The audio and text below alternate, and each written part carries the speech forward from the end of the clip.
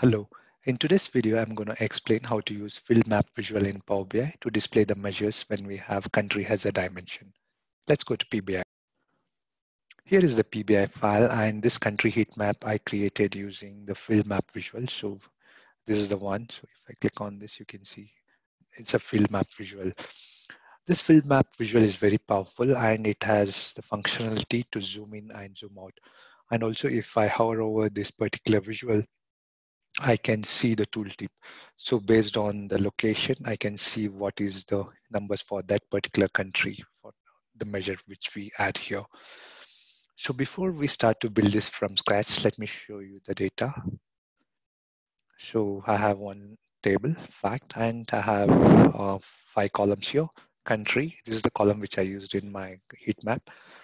And also have country code, but I haven't used this anywhere and the business segment and column one and column two, which I use to calculate some measures. So let me go to report and then delete this heat map and also the other measures. And let's start from scratch, okay? So I deleted the filled map visual from this report and let's start from scratch.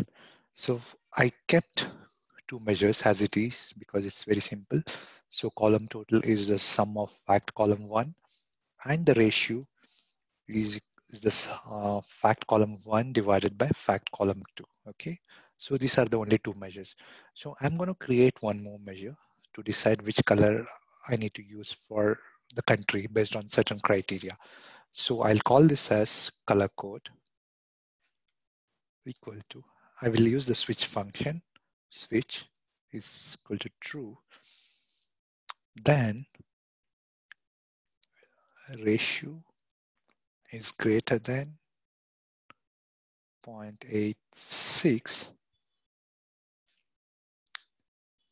I will use green color. So let me copy the color code. So this is the color which I'll be using if my ratio is greater than 86%. Else, I want to show it as a red. Let me copy the color code and paste it here. Okay, hit enter. So I have the logic to decide which color I need to use. So the next step is I'm going to add new fill map here. Let me increase the size so that it fits well within this page okay. And once I have this here I will add the country name to this location. Okay so we have the default color that's blue.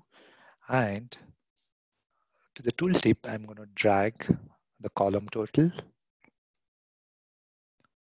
and also the ratio.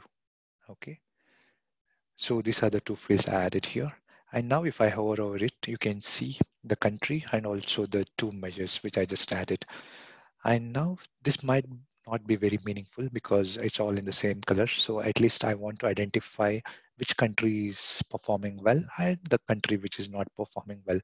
So to do that, I'll go to the format section here and under the data colors, click on the drop down and you can see the default color is blue. So I'm going to click on this function here. And then I'm going to use field value. The field which we just created, that's a color code. I'm going to use this column or this measure to decide which color I need to use. Okay.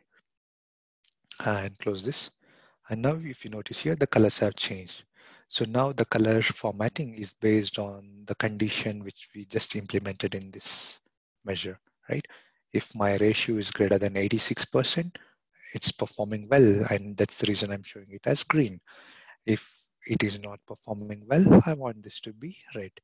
So this is extremely useful when you have several countries and you want to identify the countries which are not performing well or which are performing well at one go, okay, without click, having too many clicks. So this is very powerful. I hope this video was helpful. And if you like this, please give it a thumbs up and share with your friends or colleagues. Okay. And thanks for watching. Have a great day.